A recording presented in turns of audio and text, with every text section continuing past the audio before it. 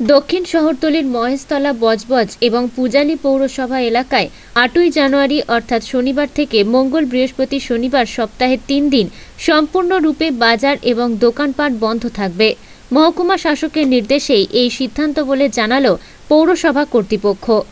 এই তিন দিন পৌরসভা এলাকাতে বন্ধ থাকবে বাজার এবং দোকানপাট চলছে পুলিশি নজরদারিতে। মুখ্যমন্ত্রীর নির্দেশে করোনা আক্রান্ত পরিবারগুলিকে খাবার পৌঁছে দিচ্ছে পুলিশের সহযোগিতায় পৌরসভাগুলি। বিভিন্ন থানা এলাকায় আটক করা হচ্ছে বিধি ভঙ্গকারীদের পাশাপাশি চলছে পুলিশের মাইকিং। রাজ্যের পাশাপাশি দক্ষিণ শহরতলি এলাকায় একই ছবি ধরা পড়ল।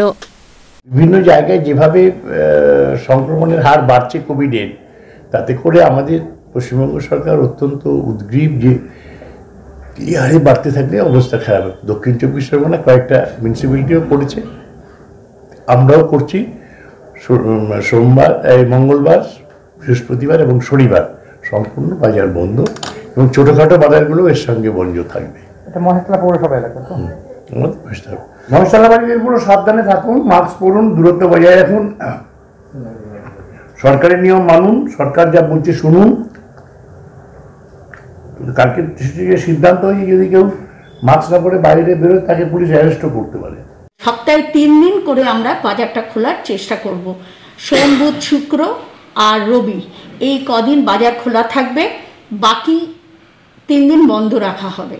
তাতে আমরা যতটুকু মানুষকে সাবধানে রাখতে পারি, আমরা বলতে চাই এবং বজবজ পৌরসভার পক্ষ থেকে আমাদের যেরকমভাবে যতটা আমাদের কাজ করা যায় আমরা আমরা যেরকম বিভিন্ন জায়গায় ড্রেন ক্লিনিক, ব্লিচিং ছড়ানোর থেকে শুরু করে বিভিন্ন বাজারগুলোতে একটু স্যানিটাইজার করা বা অন্যান্যভাবে রাস্তার বিভিন্ন মানুষকে মাস্ক দিয়ে সাহায্য করা বা যারা করোনায় ভুগছেন, অথচ তাদের খাবার যাতে তাতে আর অসুবিধা না হয়, এটা আমাদের রাজ্য সরকারের আমাদের দিদিরই এই, এটা ওনার একটা মানে আবেদন আমাদের কাছে রেখেছেন যে তারা যেন এই জায়গাতে কোনো কষ্ট না পান। তাদেরকে খেতে দেওয়ার জন্য আমাদের কাছে সেরকমই সার্কুলার এসছে যে তাদের বাড়িতে চাল, ডাল, আলু বিভিন্ন ধরনের যতটুকু সম্ভব আমাদের, আমরা তাদের বাড়িতে পৌঁছে দিচ্ছি, যাতে তাদের বাজারে এসে না কিনতে হয় বা তাদের কষ্ট যাতে না হয় খাবার দাবারের যেন কোনো অসুবিধে না হয়।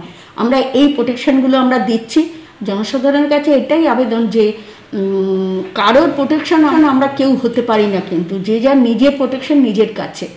সবসময় হাত ধোয়া, মুখে মাস্ক পরা, একটু মানুষের সঙ্গে দূরত্ব বজায় রেখে এগুলো চলা আমাদের প্রত্যেকেরই উচিত।